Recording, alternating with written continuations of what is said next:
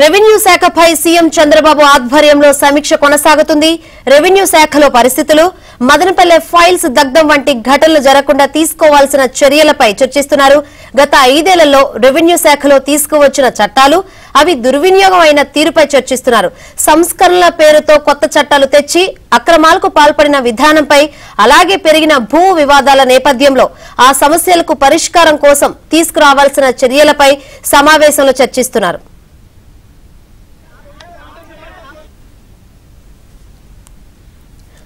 Right మరిన్ని వివరాలు అందించేందుకు మా ప్రతినిధి సత్య ఫోన్ లైన్ ద్వారా సిద్ధంగా ఉన్నారు. సత్య వైసీపీ హయాంలో భూ కబ్జా వైసీపీ నేతలు భూ కబ్జాలు చేసిన దానిపై ఒక కమిటీ వేసినట్టు తెలుస్తుంది. అదేవిధంగా ఈ రోజు సమీక్ష సంబంధించి ఏంటి అప్డేట్స్? ఏ అంశాలు చర్చకొచ్చే అవకాశం ఉంది?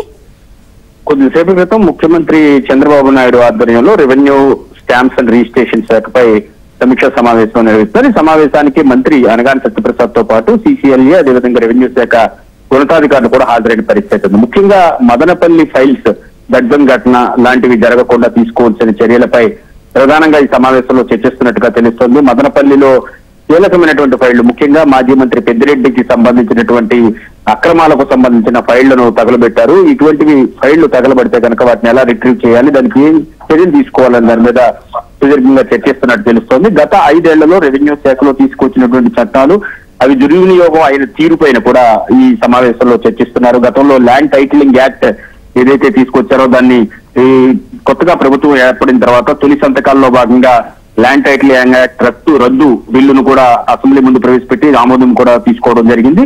ఈ గతంలో వచ్చినటువంటి చట్టాలు ఏ విధంగా దుర్వినియోగం అవుతున్నాయనే దాని మీద కూడా ఈ సమావేశంలో చర్చించడంతో పాటు సంస్కరణల పేరుతో కొత్త చట్టాలు తెచ్చి అక్రమాలకు పాల్పడిన విధానం పైన కూడా చర్చిస్తున్న పరిస్థితి అయితే ఉంది. పెరిగిన భూ వివాదాల నేపథ్యంలో ప్రజలకు సమస్యలకు ప్రజలకు ఉన్నటువంటి సమస్యలకు పరిష్కారం కోసం తీసుకోవాల్సిన చర్యలపైన కూడా చర్చిస్తున్నట్టు తెలుస్తుంది. ఎందుకంటే సర్వేల పేరుతో కొత్తగా సర్వేల పేరుతో కొత్త వివాదాలను వైసీపీ సర్కారు తెర మీదకి తీసుకొచ్చింది.